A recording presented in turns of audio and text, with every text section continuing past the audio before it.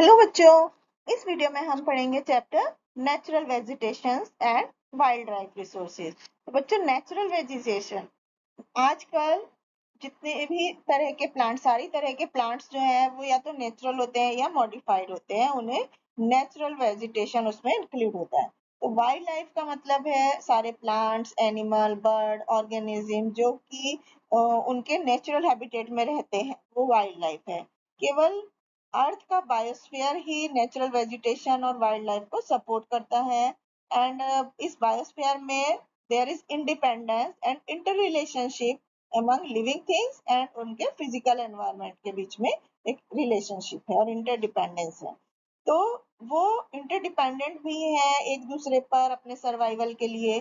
तो जो ऑर्गेनिजम्स और उनके फ़िज़िकल इन्वायरमेंट के बीच का जो इंटरेक्शन है पर्टिकुलर एरिया में, उसको इकोसिस्टम बोलते हैं।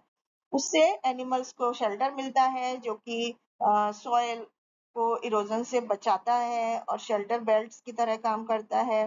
Help in storage of underground water and वो ऑक्सीजन भी प्रोड्यूस करते हैं, जो सभी लिविंग थिंग्स को चाहिए होती है। And they give us fruit gums medicine और बहुत सारे प्रोडक्ट्स इंसेक्ट्स जैसे कि बीज बटरफ्लाई है, ये पॉलिनेशन में हेल्प करते हैं। बीज से हमें हनी मिलता है सिल्क से सिल्क मिलता है। तो इस तरह से सारे जानवर बड़े, छोटे हमारे इकोसिस्टम में बैलेंस मेंटेन करते हैं।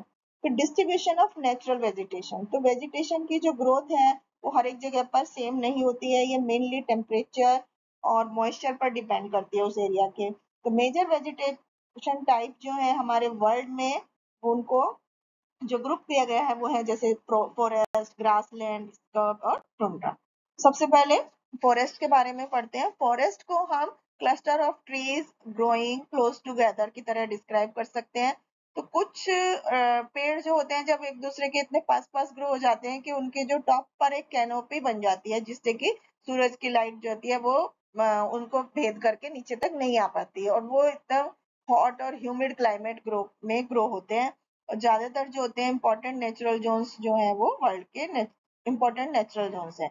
क्योंकि वो इतने उनकी इम्पोर्टेंस जो है उसको की वजह से उन्हें ग्रीन गोल्ड के नाम से भी जाना जाता है और वो वर्ल्ड का लैंड एरिया का लगभग एक तिहाई हिस्से को कवर करते हैं।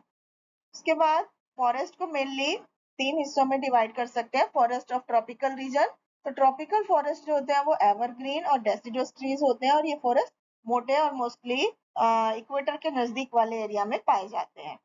इस आ, क्योंकि there is no particular dry season तो इनकी जो चौड़ी चौड़ी पत्तियाँ होती हैं वो इनको वो झड़ती नहीं है इनके और एक साथ रहती हैं। That is why they are called evergreen forest इसके बाद फॉरेस्ट ऑफ़ टेम्परेट रीजन होते हैं। तो टेम्परेट रीजन जो होते हैं विंटर्स आर वहाँ पर जो सर्दियाँ होती है माइल्ड और होती हैं और रेनफॉल मॉडरेट होती है। तो फॉरेस्ट में जंग ट्री शब बुश सब होते हैं जो कि कम ग्रोथ वाले होते हैं।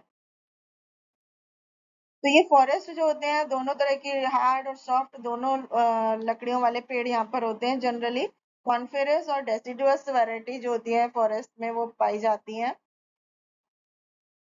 Forest of the taiga region तो टाइगा एक रशियन एंड वर्ड है जिसका मतलब है प्योर एंड अनटच्ड तो ये स्पेक्टिकुलर फॉरेस्ट है जो कि ब्रॉड बेल्ट में पाए जाते हैं 50 डिग्री नॉर्थ से, और 70 डिग्री नॉर्थ में। और ये फॉरेस्ट जो होते हैं हायर लैटिट्यूड में भी देखे गए हैं और ये बेल्ट में एरिया आते हैं जो कि अलास्का, सदर्न कनाडा ये एरिया में पाए जाते हैं। इसके बाद ये पेड़ जो होते हैं बहुत लंबे होते हैं और इनकी वुड सॉफ्ट होती है और एवरग्रीन टाइप की होती है और ये पेड़ की जो लकड़ी होती है वो पल्प बनाने के काम आती है या paper newsprint furniture toy ये बनाने के काम में आती है। ग्रासलैंड्स तो वो एरिया जो कि कम रेनफॉल रिसीव करता है, पेड़ों के बीच में ग्रो हो जाते हैं, उसको ग्रासलैंड बोलते हैं। और ये एरियाज़ लंबे और टॉल ग्रासेस होते हैं जो कि वाइल्ड स्ट्रेचेस ऑफ़ लैंड में ट्रॉपिकल ग्रासलैंड इनको सवाना भी बोला जाता है और ये इक्वेटर की साइड में होते हैं which extend till the tropics और इनको डिफरेंट डिफरेंट नेम से बुलाया जाता है अलग अलग हिस्सों में, जैसे कि अमेरिका में इसे पार्कलैंड बोलते हैं वेंजुलिया और कोलंबिया में इसको लैलून्स बोलते हैं, जबकि ब्राज़ील, अर्गनी और अर्जेंटीना में इनको कैंपोस बोला जाता है। टेम्परेट ग्रासलैंड तो ये जो ग्रासलैंड है ये मिडिल लैटिट्यूड के होते हैं and interior part of continents होते हैं और ये एरिया जो होते हैं, इनका almost level treeless plain होते हैं, जो कि 40 डिग्री से 55 डिग्री लैटिट्यूड के हेमिस्फीयर में सिचुएटेड होते हैं। और ये ग्रासलैंड को अलग अलग नामों से बुलाते हैं अलग अलग हिस्सों में। स्टीप बोलते हैं यूरोप में प्रेरी बोलते हैं नॉर्थ अमेरिका में पम्पास बोलते हैं साउथ अमेरिका में veld in South Africa and down in Australia shrubs तो ये जो होती हैं, बहुत छोटे बुशी प्लांट होते हैं और इस तरह के प्लांट्स जो होते हैं, इनमें स्टेम बहुत थिक नहीं होती है, लेकिन ये हार्ड और वुडी होती है।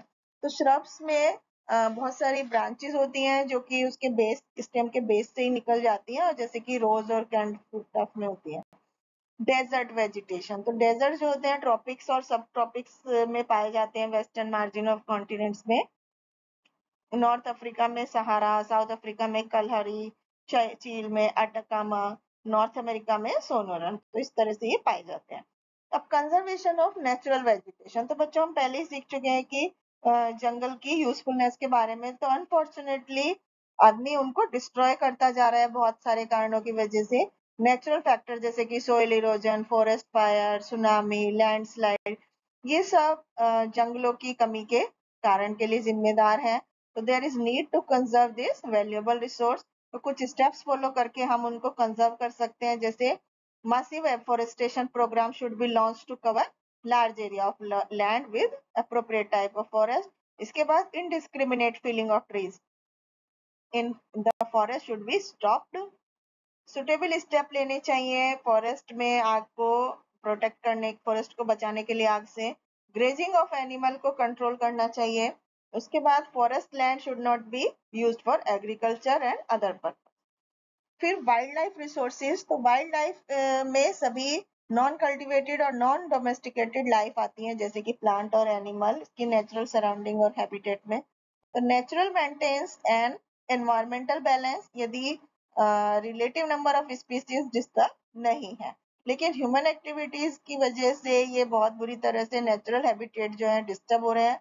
तो due to indiscriminate hunting for economic gains and also for fun बहुत सारी बर्ड्स की स्पीसीज और एनिमल्स जो हैं, वो एक्सटिंक्ट हो गई हैं या एक्सटिंक्ट होने वाले हैं।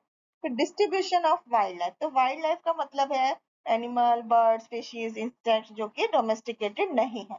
तो ये एक इंपॉर्टेंट पार्ट है हमारे इकोसिस्टम का और उनकी एग्जिस्टेंस भी बहुत ज़्यादा इम्पोर्टेंट है हमारे एनवायरनमेंट में बैलेंस मेंटेन करने के लिए। तो within the habitat plant और एनिमल जो होते हैं अपने ही तरह का जीवन जीते हैं और greatest variety of wildlife is found in the equatorial forest Asia तो Asia has extremely varied wildlife तो जैसे लायन टाइगर एलिफेंट मंकी ये सब ट्रॉपिकल एरिया में पाए जाते हैं।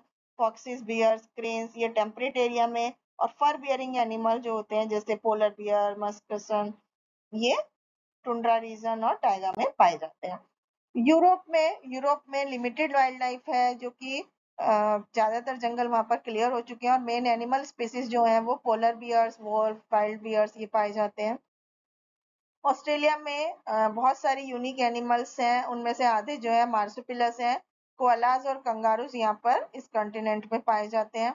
नॉर्थ अमेरिका में बहुत ज़्यादा ठंडा क्लाइमेट होता है तो इस तरह से एनिमल्स जो होते हैं, मोटे पर वाले होते हैं अपने आप को गर्म रखने के लिए, जैसे रेन बियर आर्टिक फॉक्सेस मस मक्सॉक्सियन सेबल्स पोलर बियर यहाँ पर पाए जाते हैं। एंटार्क्टिका में there is plenty of life जहाँ पर लैंड और वाटर मिलते हैं तो penguins are native to this continent and वो यहाँ एंटार्क्टिका का सिंबल बन गए हैं। इसके बाद कंजर्वेशन ऑफ़ वाइल्ड लाइफ तो क्लाइमेट फैक्टर्स जैसे कि फ्लड लैंडस्लाइड सुनामी फॉरेस्ट्री इनकी वजह से deforestation construction and hunting of animal for for their damage to our wildlife और उनके हैबिटेट को नुकसान पहुँचा रहे हैं। तो कुछ स्टेप्स फॉलो करने चाहिए वाइल्ड लाइफ को कंजर्व करने के लिए। जैसे इलीगल हंटिंग और trapping of animal should be prohibited मना होना चाहिए।